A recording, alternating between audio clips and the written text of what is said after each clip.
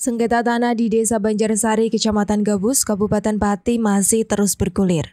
Saat ini kasusnya tengah dalam proses peradilan di Pengadilan Negeri Kelas 1A Pati.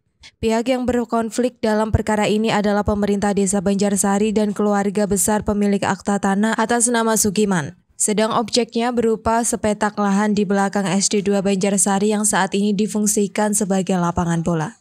Sudirman menceritakan tanah tersebut dianggap tidak sah kepemilikannya lantaran menurutnya tanah tersebut adalah hasil iuran warga desa Banjarsari di tahun 1983 untuk pembangunan SD Inpres yang saat ini menjadi SDN 2 Banjarsari. Diketahui tanah yang dimaksud saat ini aktanya dipegang oleh Toto Edi Margiono, anak dari Sukiman. Namun kepada mitrapos.com, Sudiman menerangkan bahwa tanah tersebut adalah milik desa hasil dari iuran warga setempat. Penyertaan tersebut mengacu pada dokumen letter C, pada dokumen letter C atau buku register tanah desa yang turun-temurun yang dipegang oleh pemerintah desa. Selain mewawancarai Kepala Desa Banjarsari, Mitrapos.com juga melakukan penggalian data kepada Toto Edi Margiono pemegang sertifikat tanah.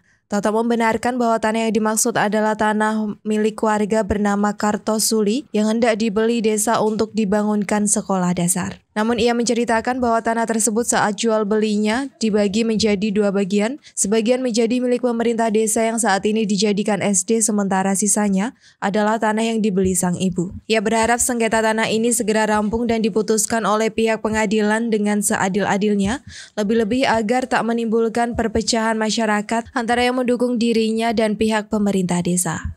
Dari Batimo Anwar Mitra Pos melaporkan.